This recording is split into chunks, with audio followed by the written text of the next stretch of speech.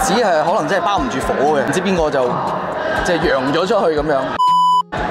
即係點解我即係大大家都即係我咁多年冇拍拖，咁即係我都好誒、相信緣分啦，同埋好睇誒、感覺啦。我認識佢嘅第一日，佢就已經話俾我知佢有咁嘅經歷。公開咗之後，俾人知道之後，可能對我哋兩個嘅關係會有啲嘅壓力，大家會睇住我哋將來會點樣相處啊，會行得幾遠啊。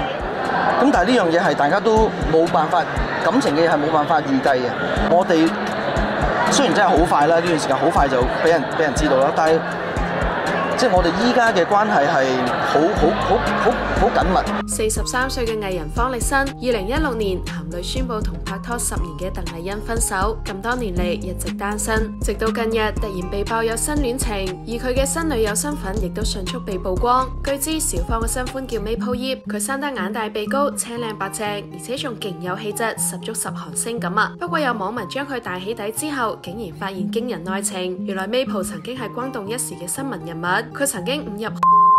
而且惨遭教主洗腦侵犯。喺眾多女受害者當中，Maple 係為數不多願意勇敢企出嚟指控嘅一位。隨住佢之前受訪嘅紀錄片被翻出之後，引發大批網民熱議。尋日方力申出席活動嗰陣，亦都首次公開大方認愛。佢對女友曾經嘅遭遇感到非常痛心，仲強調同女友相識第一日就已經知情。佢表示完全唔會介意女友嘅過去，雖然佢哋拍拖時間尚短，但佢早已經帶女友翻屋企見父母，以表真心。小方仲明明確表示，迟啲仲会陪女友一齐到韩国上庭。